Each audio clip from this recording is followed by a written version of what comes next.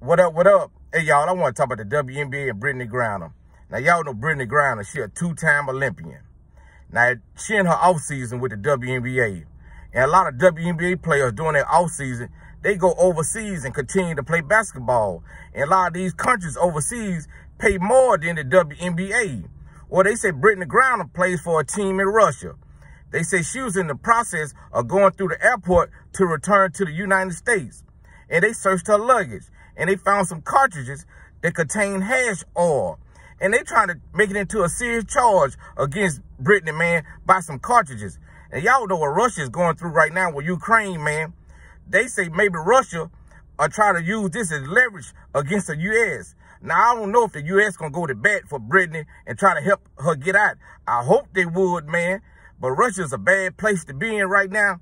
And I hope this is a lesson to other WNBA players, man. Cut ties with Russia. Go to another country and play basketball. It might be a little less money, but I wouldn't support nothing that Russia has going on.